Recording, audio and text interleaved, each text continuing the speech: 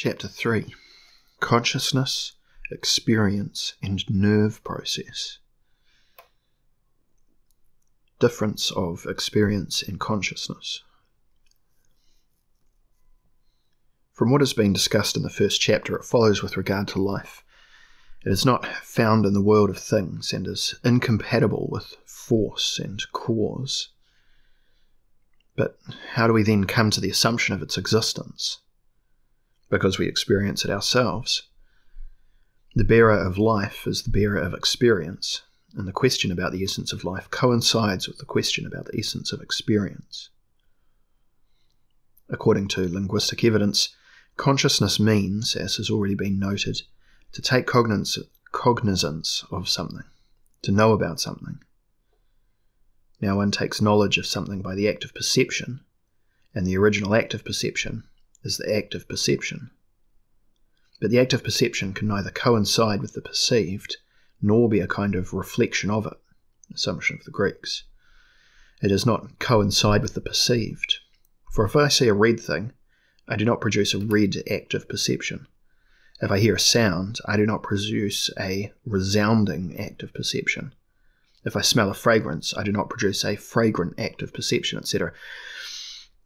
It is also not a mirror image of the perceived, for all sensual species properties. Uh, it is also not a mirror image of the perceived, for all sensual species properties are incomparably different from each other, which is why one does not give a deaf born person the slightest idea of sounds and tones by describing them. If now the act of perceiving, in the kind of a reflection, would correspond to the perceived species' properties, then all acts of perception would have to be incomparably different from each other. Consequently, however, we could have no concept of perceiving, and consequently also no concept of consciousness. If our perception of the world would be a representation of the world, then we would not know at all that we would have consciousness. From this, we draw the following conclusion. If every act of cognition is necessarily different from every other act of cognition numerically, but not species wise, then the sensual species properties of which we take cognizance must have been experienced by us. However, the experience relates to the experienced, so much is certain that it is completely different from the act of taking cognizance.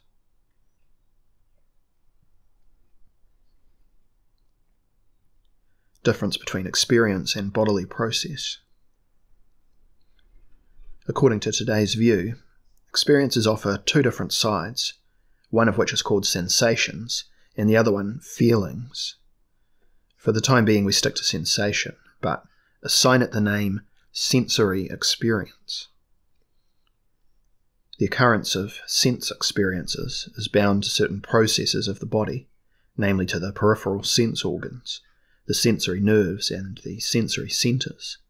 And the natural scientist now tends to equate those, the sense experiences, with the body processes.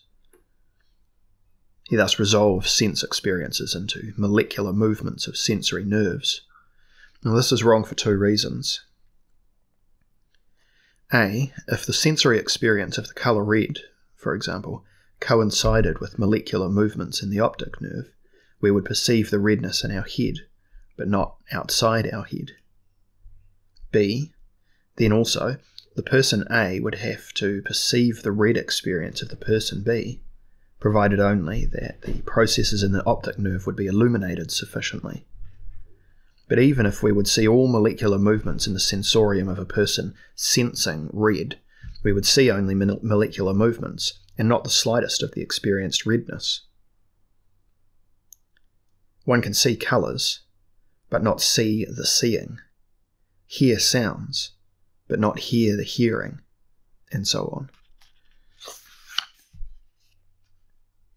Consequently, sensory experiences are not objective bodily processes. But then, no experience is an objective bodily process. We find experiences just as little in the world of things as we found life in it. Since they are not acts of perception either, experiences must not be confused with existing things, nor with the acts of consciousness referring to them. To these deconstructive propositions about the nature of experience, we immediately add two constructive ones artificiality of the experience. All experiences are different from each other. If it is necessary, the experience, with the help of which we grasp an unlimited number of species properties, then the mediating experiences themselves must be different from each other. Whoever has any doubts about this should only check the counter assumption.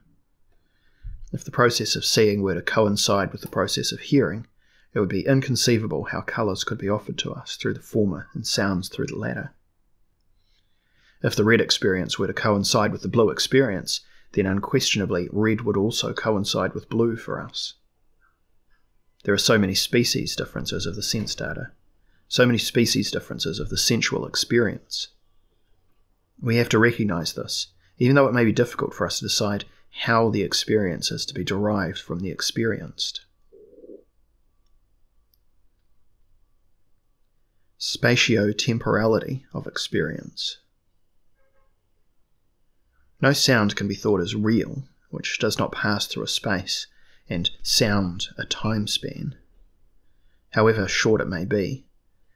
No colour, which does not cover a surface, even if it is small like a point and which does not exist in a time span, different from zero. If we take away the space and the time, then we have already taken away colours, sounds, smells, taste, temperature, hard, rough, wet, sweet, and so on. All sensual qualities, species meet us at something spatio-temporal. If the experience conveys qualities to us, then it must also have conveyed their spatio-temporality to us. And if it can communicate them to us only because it has itself been artificially tuned by them, then this only through its own participation in the spatial and temporal outside of each other.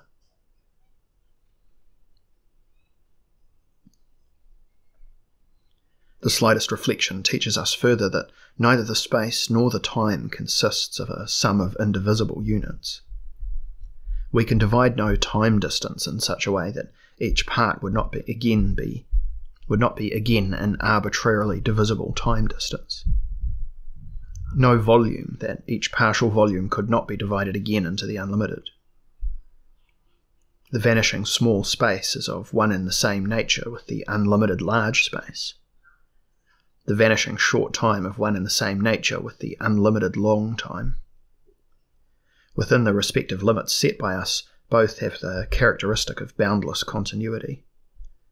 Consequently, also, the space time receptivity of our experience must have the characteristic of boundless continuity. Space time, continuity, and kindness are extra spiritual and therefore incomprehensible.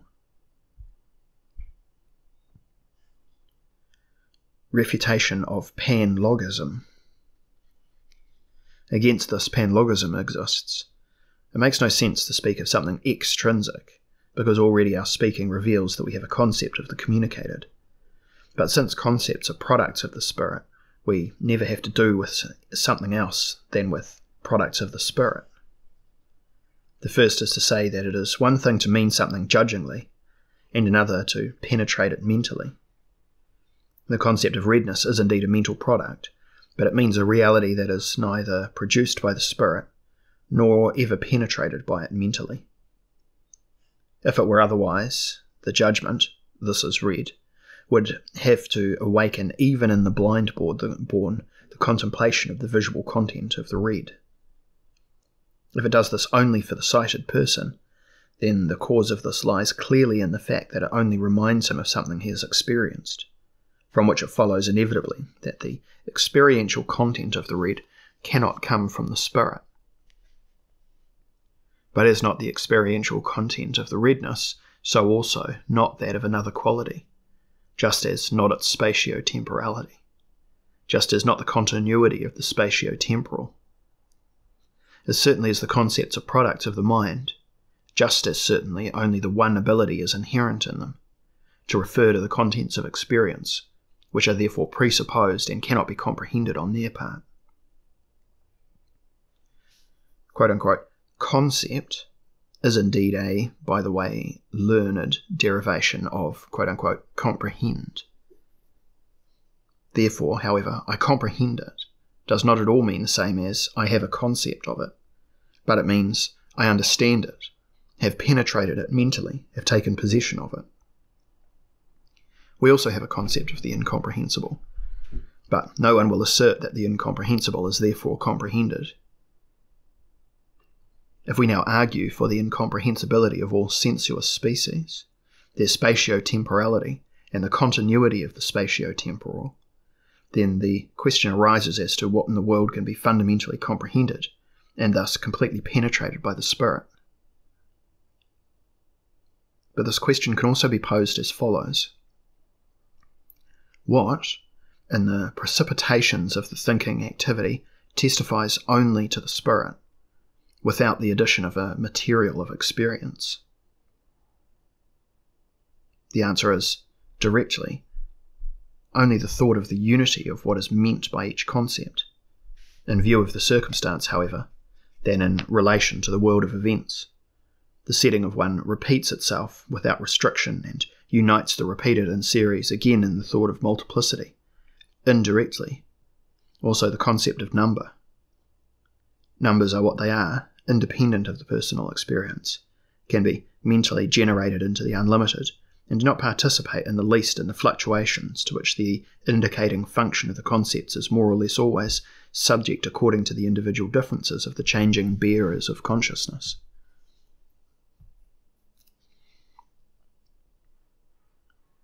If I speak to someone of five trees, I will certainly be allowed to believe that he associates the same concept with tree in order to distinguish what is meant from grasses, animals, rocks, but I will not be able to achieve this by adding any number of epithets.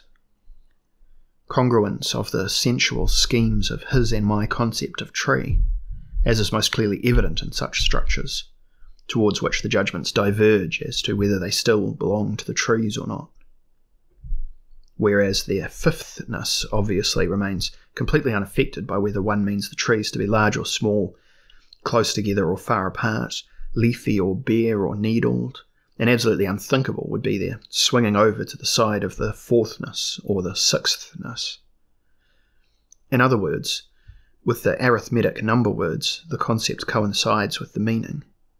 Therefore, they are to be replaced unambiguously by formulaic signs of inevitable usability, calculating machine, with which the life centered nature of the number also expressively manifests itself. According to this, now, the outer as well as inner world can be penetrated mentally, as far as it offers a countable side, from which the scientific wishful thinking of exactness explains itself. In addition, we note no quality, colour, sound, smell, etc., differs numerically from another, none numerically from space and time, the space not numerically from the time, Finally, the vividly continuous, not numerically from the discontinuous, because only discontinuous can be counted.